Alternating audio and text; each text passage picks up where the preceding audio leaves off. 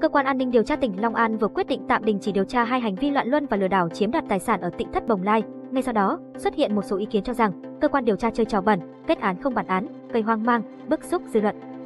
Do tính chất phức tạp, liên quan đến tôn giáo, chức sắc trong Phật giáo, khoa học về di truyền, nên cơ quan điều tra đã rất thận trọng và tách ra thành các nội dung khác nhau để điều tra. Trên cơ sở tài liệu, chứng cứ có được, cơ quan chức năng đã tập trung điều tra, khởi tố, truy tố các bị cáo về tội danh lợi dụng quyền tự do dân chủ xâm phạm lợi ích nhà nước, quyền, lợi ích hợp pháp của tổ chức cá nhân. Với hai tội danh còn lại đang chờ thêm một số kết quả về xét nghiệm, phân tích gen di truyền học từ cơ quan chuyên môn, khi có kết quả khẳng định đúng như nội dung tố giác, kết hợp với các chứng cứ cụ thể thu thập được sẽ phục hồi điều tra tiếp tục và chuyển tiếp giai đoạn điều tra. Trong trường hợp không có căn cứ chứng minh hành vi phạm tội thì cơ quan điều tra sẽ ra quyết định đình chỉ điều tra theo quy định của Bộ luật tố tụng hình sự hiện hành. Theo luật tố tụng hình sự năm 2015 thì tạm đình chỉ điều tra vụ án được hiểu là việc tạm ngừng tiến hành các hoạt động điều tra đối với vụ án hoặc đối với bị can vì những lý do nhất định.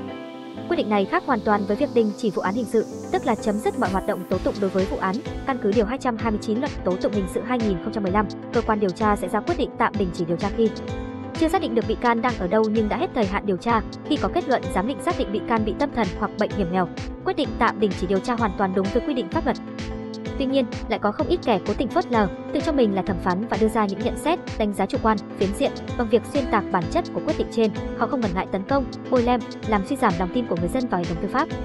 Nói thẳng, mục đích của những kẻ ấy chẳng phải đấu tranh hay bảo vệ người bị kết án, điều mà chúng hướng đến có chăng là gieo rắc những nhận thức sai lầm, kích động sự bất ổn mà thôi.